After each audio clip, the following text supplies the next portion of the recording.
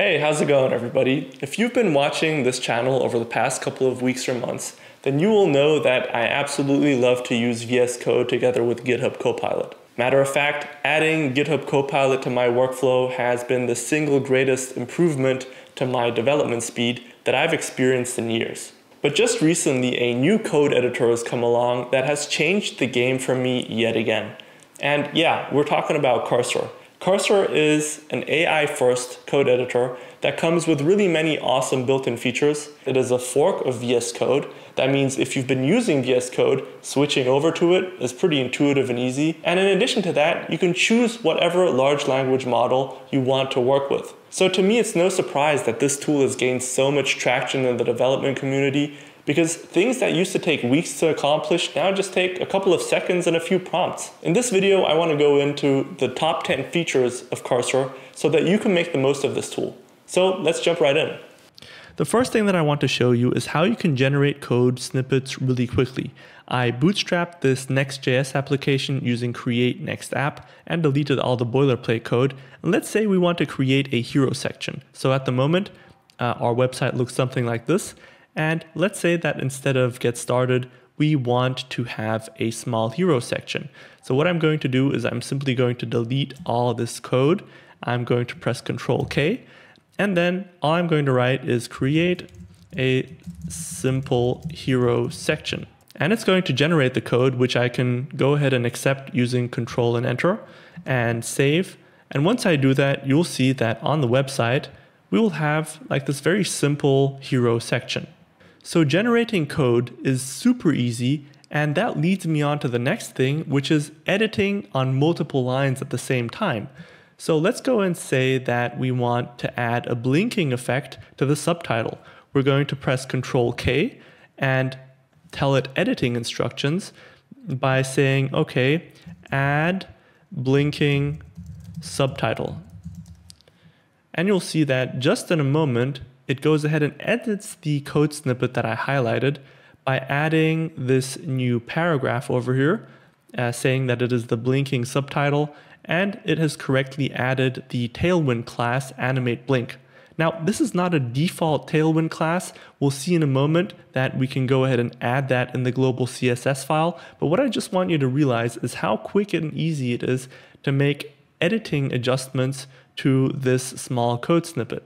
So now the next thing that we would do is add this animate blink, which was added by Cursor, and add it to the global CSS file. So I'm going to go ahead and open global CSS, and I'm going to put my cursor somewhere at the bottom and press down a few lines and you will see that the next thing it already does automatically is make the suggestion to add animate blink. So it has the entire code base as context and it just knows that this would be the next sensible thing to add. And all I have to do is press tab.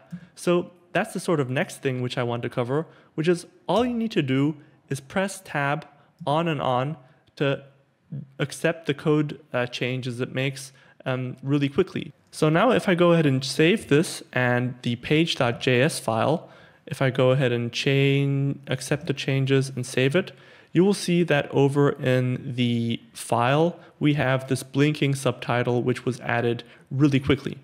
The next thing that I want to show you is something that they call smart rewrites.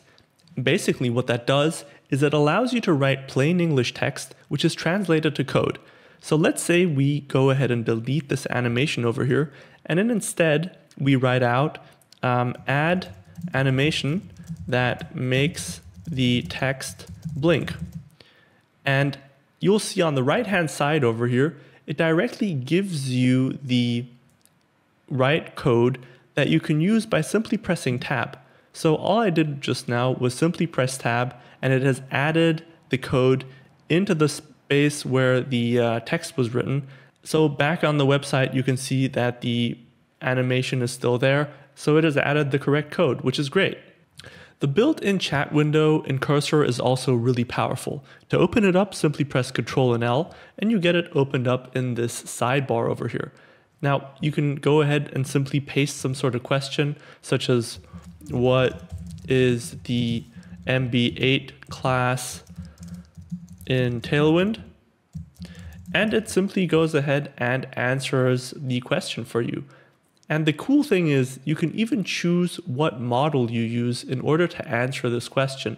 So if you're not happy with the answer which Claude has given you, you can go to this drop down over here and click any model which you want to use. So you're not limited to ChatGPT as you are with GitHub Copilot. The chat window also features a history section where you can see all the prompts that you have used in the past. And another cool thing that you should know is that whenever you highlight a snippet of code and then press Ctrl and L, it will take whatever you have highlighted and put it into the chat window directly, which is super helpful when you want to ask a question concerning a specific block of your code. The next thing that you need to be able to use is the references because they are super helpful when you want to find some sort of specific implementation in a large code base. So you can go ahead and press mention and you can choose whatever sort of context you want to give it. So let's say we would be looking for an implementation of the metadata within our code base. So what we could do is we could go to code base and subsequently we can write something like where is the meta data implemented. And that will use the entire code base as the context and it will give you an answer where it is implemented. So right here in the answer, you can see that it says that the metadata is implemented in the layout.js file. So if we go ahead and navigate to the layout.js file, you can see that it is in fact correct. In the layout.js file, we have the metadata right there. But what's cool is that the references are even more powerful than just that.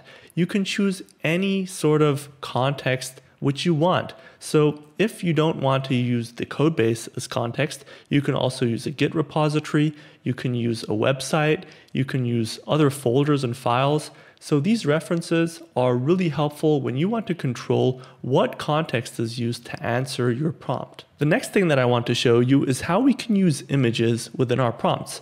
So let's say I have a very simple image which shows me some sort of text on the left side and an image on the right side. And I want to ask Cursor how we could build a layout that is like this. So I'm going to go ahead and take this image and drag it over into the chat. And you can now see that this image is included in the chat.